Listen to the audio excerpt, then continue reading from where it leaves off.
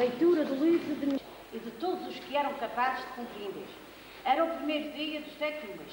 Desde manhãzinha até ao meio-dia, fez a leitura do livro, no ato fronteiro à porta das águas, diante de homens e mulheres e de todos os que eram capazes de compreender. Todo o povo prestava atenção à leitura do livro da lei. Esdras, o, o escriba, estava de pé, num estrado de madeira feito de propósito. Estando assim em plano superior a todo o povo, Esdras abriu o livro à vista de todos. E quando o abriu, todos se levantaram. Esdras bendisse o Senhor, o grande Deus. Todo o povo ergueu as mãos e respondeu: Amém, Amém. E prostrados de rosto por terra, adoraram o Senhor. Os levitas iam lendo o livro da lei de Deus de maneira distinta e explicando o sentido, de modo que todos entendiam a leitura. Então Neemias, o governador, e Esdras, o sacerdote e o escriba, bem como os levitas que ensinavam o povo. Disseram a toda a gente: Este dia é consagrado ao Senhor vosso Deus. Não vos aflijais nem choreis. É que o povo inteiro chorava ao escutar as palavras da lei. Depois Neemias as mudou e comer carne gorda e tomar bebidas doces. E a quem nada preparou, mandaram de comunhão. Este dia é consagrado ao nosso Senhor.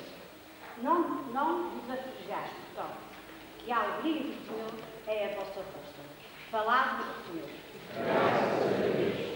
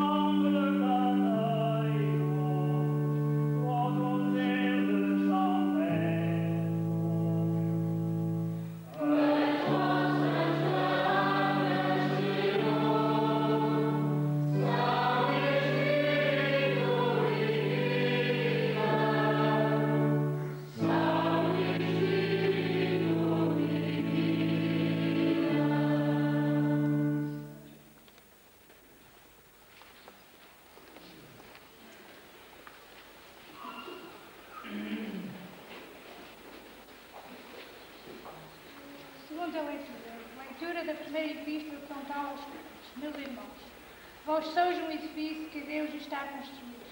Segundo a graça de Deus que me foi concedida, fui eu que pus o alicerce como arquiteto sabedor. Mas é outro que está a construir sobre ele. Veja, porém, cada qual como está construído, pois ninguém pode pôr outro alicerce, que não seja aquele que já está a ser. E esse alicerce é Jesus Cristo.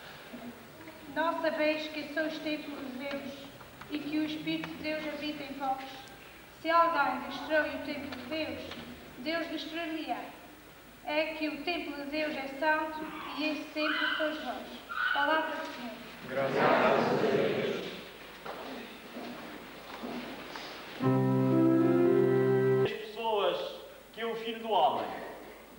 Eles responderam: uns dizem que é João Batista, outros que é Elias, outros que é Jeremias, ou um dos profetas. Jesus replicou-lhes: E quem dizeis vós que eu sou? Então Simão Pedro tomou a palavra e disse: Tu és o Messias, o Filho de Deus vivo. Jesus respondeu-lhe: És feliz, Simão, filho de Jonas, porque não foram a carne e o sangue que tu revelaram, mas sim meu Pai que está nos céus. E eu também te digo a ti: Tu és Pedro, e sobre esta pedra edificarei a minha igreja, e as forças do inferno não levarão a melhor contra ela. Dar-te-ei as chaves do reino dos céus. Tudo o que ligares na terra ficará ligado nos céus. E tudo o que desligares na terra ficará desligado nos céus. Palavra da salvação. Ministro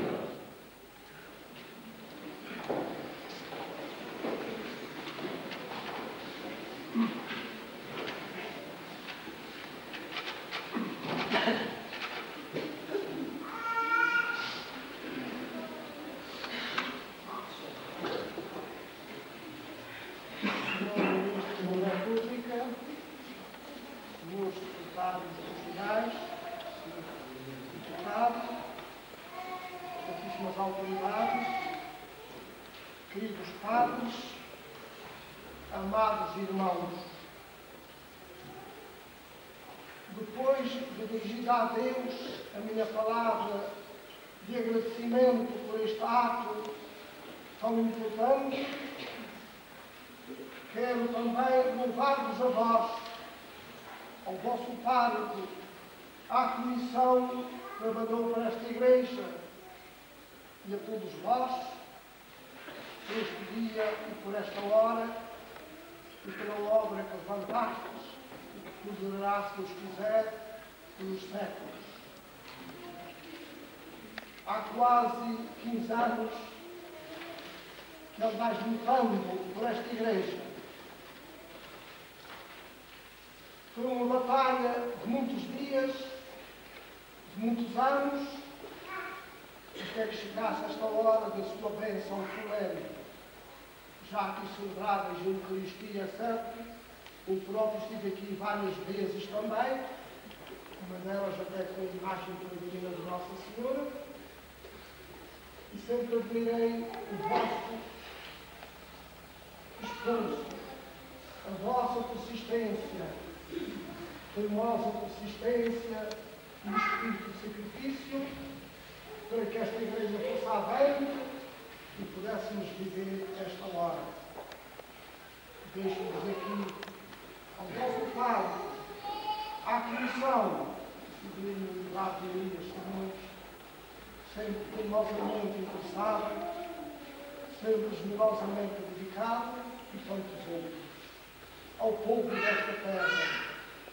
Não esqueço também a ajuda preciosa de entidades públicas e particulares foi recebida para que pudesseis levar a termo esta bela obra. Parabéns a todos vós, graças a Deus. Uma igreja, e hoje levantam-se poucas igrejas só o cisma nos obrigou a levantar e a construir tantas outras. Nos hoje levantam-se tão poucas igrejas, uma igreja nova, assim benzida, representa um ato de generosidade, uma atitude de fé, uma hora de muita esperança. Pais, parabéns também por isso. É que uma igreja fala de Deus, é a casa de Deus. Aqui habita o Senhor, morada de Deus entre os homens. Aqui dá ele audiência ao seu povo. Deus que está em todo lugar, está de um modo especial. E quando tem o Santíssimo Sacramento, de modo especialíssimo, em cada igreja. Por isso, São Paulo dizia que também nós, os batizados, somos de algum modo e somos de facto templos de Deus, igrejas de Deus a respeitar. Quem mancha o templo de Deus, Deus o destruirá. Na igreja é lugar especial de oração.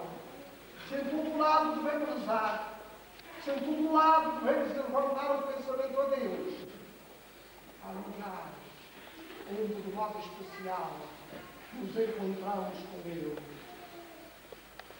Uma igreja é assim. Ela fala-nos também do transcendente, aponta para o céu, aponta para a eternidade. É um livro aberto em passa uma igreja a dizer nós vimos Deus e vamos para Deus. Não temos em nós a razão de ser. Nós vimos Deus. Não temos em nós o nosso fim. O nosso fim é Deus. Vamos encontrá-lo de modo especial em cada igreja.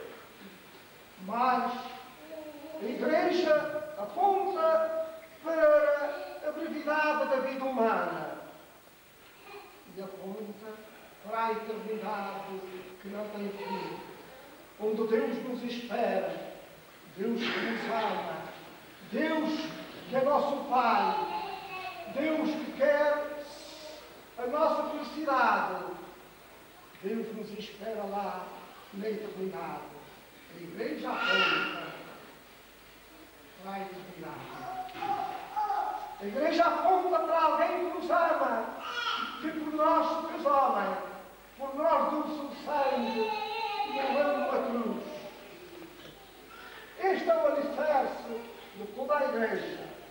Esta é a garantia da nossa salvação temporal e eterna. É aquele que, depois do sacrário ou do altar, quando na hora da missa, aqui como centro a apontar por ti, por ti homem, por ti subi à cruz, por ti dei a minha vida, por ti abro esta igreja para que venhas ter comigo, acredites no meu amor. Uma igreja é uma missão de cada dia, missão para todos. Saibamos estimá-la, saibamos colaborar para ela, saibamos marcar presença de recolhimento, de oração, de participação na missa ao domingo. Ninguém falta. Ninguém falta daqui ou os lá debaixo da sua igreja, que é paróquia também. É que cada igreja, e foi dito também, simboliza a igreja, o povo de Deus e o corpo de Cristo. Feita de muitas pedras, de muitos tijolos, de muitos blocos de cimento, temos este templo a representar também os cristãos que pelo batismo se enxertam em Cristo para participarem do batismo da vida divina. E assim Deus só uma vida que nos une a todos em Cristo. E se tornam todos membros de Cristo